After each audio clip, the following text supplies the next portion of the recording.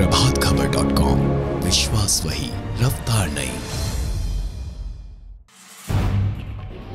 Money laundering के मामले में ईडी ने आईएएस अधिकारी पूजा सिंगल से सातवें दिन, सीए सुमन कुमार से ग्यारहवें दिन और जिला खनन अधिकारियों से तीसरे दिन पूछताछ जारी रखी। ब्लड प्रेशर बढ़ने की वजह से पूजा सिंगल को पूछताछ में तीन घंटे की राहत दी गई। पूछताछ के दौरान पूजा सिंगल की घबराहट को देखते हुए सदर अस्पताल के डॉक्टर को बुलाया गया। डॉक्टर दयानंद सरस्वती ने उनके स्वास्थ्य की जाँच की।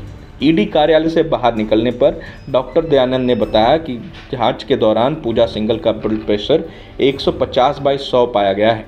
ब्लड प्रेशर बढ़ने की वजह से ईडी के अधिकारियों को सलाह दी गई है कि वह पूजा सिंघल को आराम दें। साथ ही पूजा सिंघल के भोजन में नमक की मात्रा कम हो तनाव न लें और ब्लड प्रेशर की दवा समय पर लेते रहने का सुझाव दिया गया है।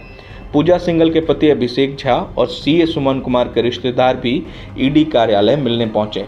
बुधवार को सरावगी बिल्डर से जुड़े मामले में अतिरिक्त जानकारी के लिए स्वास्थ्य ग्रुप के विनय सरावगी को भी ईडी कार्यालय बुलाया गया था। हालाँकि ईडी कार्यालय से बाहर निकलते वक्त उन्होंने बताया कि उनमें चांदमल जैन ट्रस्ट की ज़मीन से संबंधित जानकारी ली गई। उन्होंने ईडी द्वारा संबंध दिए जाने से इनकार कर दिया। ईडी ने पूजा सिंगल से उनके पारिवारिक संपत्ति और उससे जुड़े आर्थिक स्रोतों से संबंधित सवाल पूछे, जबकि जिला खनन पदाधिकारियों से बालू और पत्थर के माइनिंग से जुड़े सवाल पूछे गए हैं। ईडी ने जिला खनन अधिकारियों को अपने अपने ज़िले में माइनिंग और खनिजों के परिवहन के लिए जारी की गए चालान का ब्यौरा देने का निर्देश दिया है। बताया जाता है कि सीए सुमन कुमार अपने घर में जब्त सत्रह दशमलव छः शून्य करोड़ रुपए के बारे में अब तक सही जानकारी नहीं दे सके हैं। वह अब भी महत्वपूर्ण सूचनाएँ छिपा रहे हैं।